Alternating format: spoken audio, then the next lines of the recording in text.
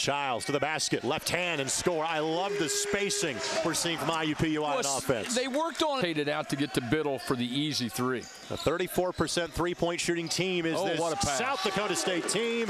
Najee doing a bit of everything. The gr- Chiles plays the passing lane, gets a hand on the basketball. One on three, doesn't hit the brakes, and it's a good thing that he didn't. Tell me how. Shot think- clock now that it doesn't.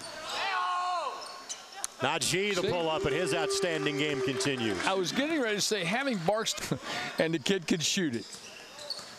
And Chiles finds a driving lane and flushes it home. And you hope it's one of those energy plays, Greg. We miss shot, quick three, turnover, boom, boom, boom. Great offensive work and great pass right here.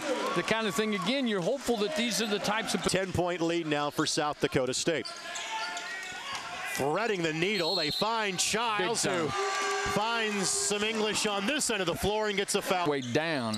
And that, you know, I think he got it in that little area, but that's a tough one. That's a real tough one. That is a tough shot in a good way for IUPUI. Barksdale goes to the basket, kicks to Najee for three. Boom, And that boom. There you go. comes a See, big time. back to back, and Najee